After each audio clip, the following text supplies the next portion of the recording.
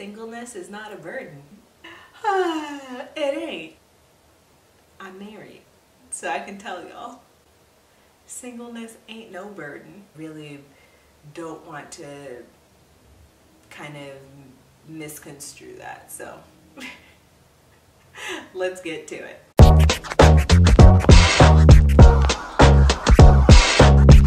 Hey guys, my name is uh, Gillian Diffut.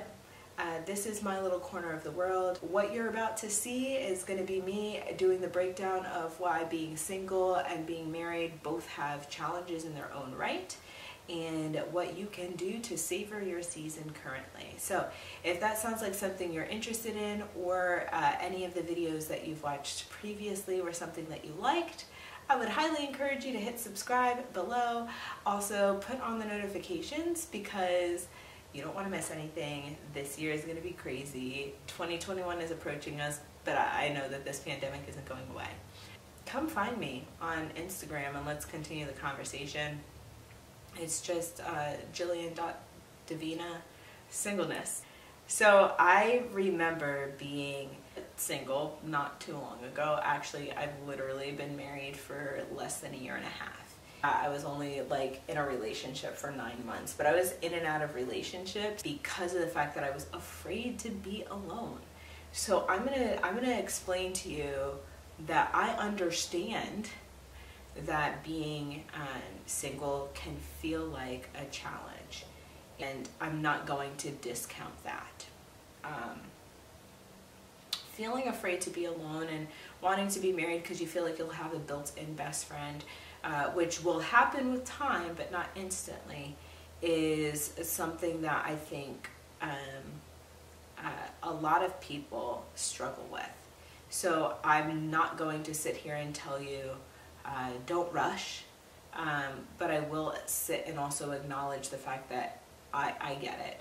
Um, I want to provide you with kind of both sides of the coin of what it looks like to be both single as well as married and what challenges they each bring.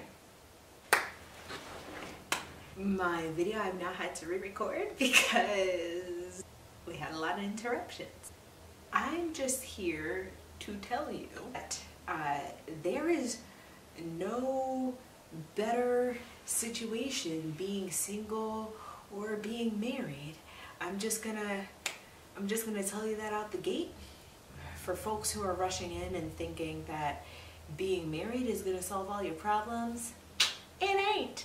Um, honestly, it, it does not actually. It probably makes whatever issues you're going through worse. Um, so I'm here to come and tell you what my life experience has been. We might dive a little bit deeper into that later on in this series, uh, but I'm going to kind of right now give you the highlights and the overview. I can speak about singleness because I was single, technically speaking, uh, probably like two years ago, so I'm not super far removed. Um, also, during the time where I was single, it was a lot easier to date because we weren't in the middle of a pandemic.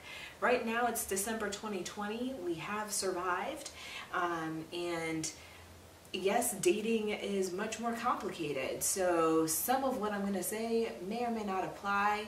Uh, regarding that whole thing, but um, I just want to kind of emphasize being married will not fix the emptiness or the loneliness that you feel when you are single.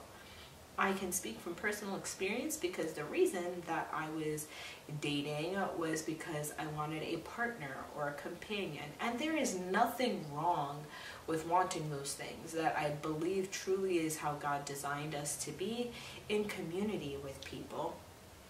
And um, I didn't savor my singleness nearly as much. I definitely went from relationship to relationship and dove headfirst into things that I shouldn't have. I've dated men significantly older than me, dated men significantly younger than me, I've dated women, surprise, surprise.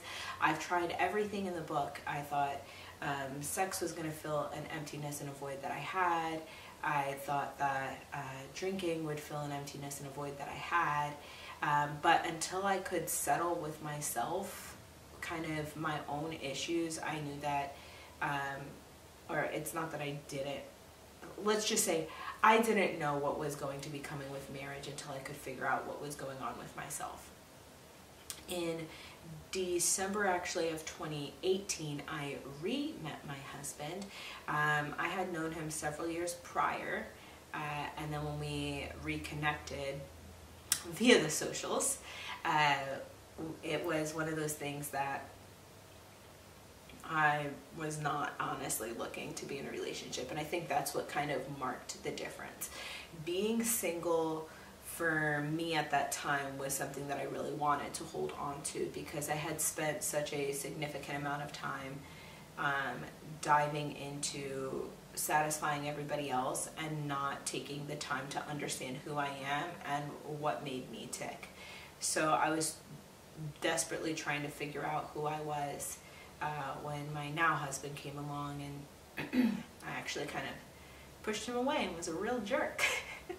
when we first got together, I actually, uh, I tell the story as I thought he was the ugliest man in the world when we first got together, which is hysterical now because I think he's the most handsome man now. Um, but when you are married, it actually will exasperate some of the uh, voids that you have.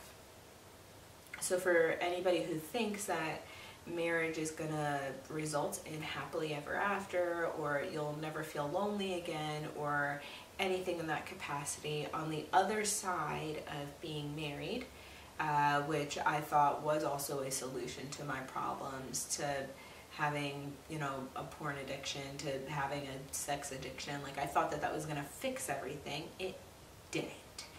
Um, it actually kind of made certain things worse. There is nothing more lonely than um, laying next to the person that you thought you loved and and still feeling lonely because you don't feel like they see you which has happened in my very new marriage. Um, and uh, or feeling like you're unheard or unloved or like you know this was supposed to fix the fact that I have, you know, this longing to be intimate with a person. Like, it just, it doesn't. Um, so both being single and being married, um, and again, I can speak from just recently having been single and recently being married. Neither thing is going to fix whatever emptiness is on the inside of you because you have to deal with you.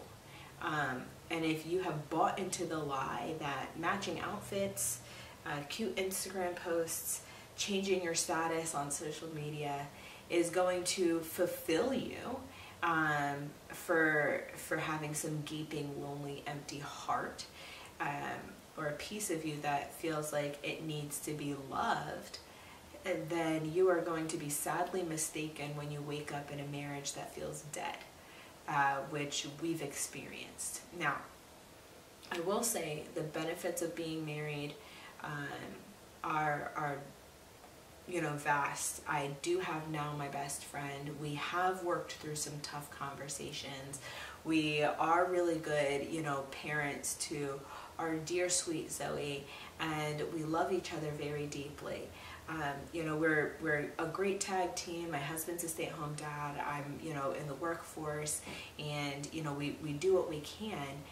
Um, but it does not draw away from the challenges. Um, you know, my, my husband and I, we, we argue about like, I feel like he is responsible sometimes for my spiritual growth and that's not fair. I felt like he was supposed to be leading us in a particular capacity, which is also not fair um, because he was thrust into a role that um, it's very difficult to adapt to.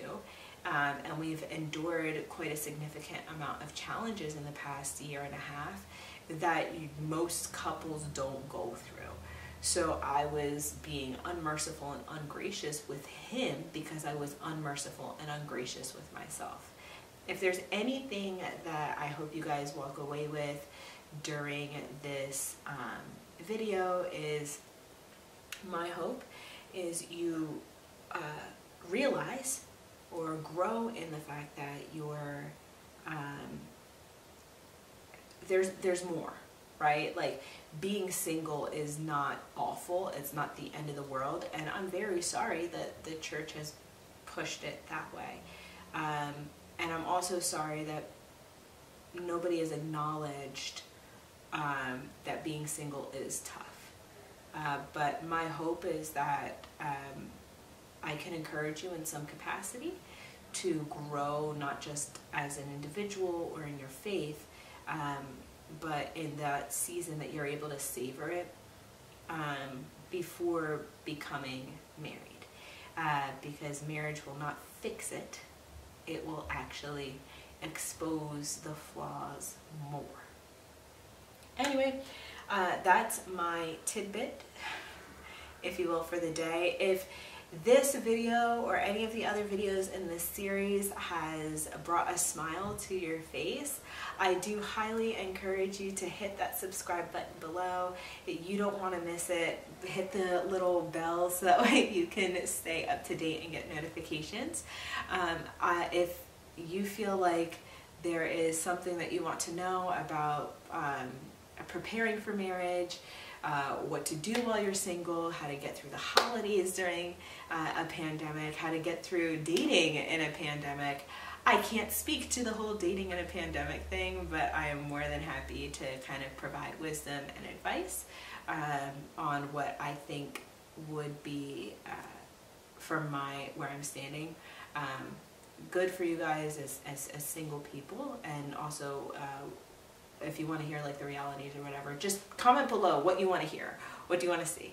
Um, if you enjoyed this, hit the thumbs up. It really does help. Uh, it sounds so silly and so simple, but a click does a big uh, wave. Anyway, my name's Gillian Diffut, and uh, I hope you guys have a blessed rest of your day. Grace and peace.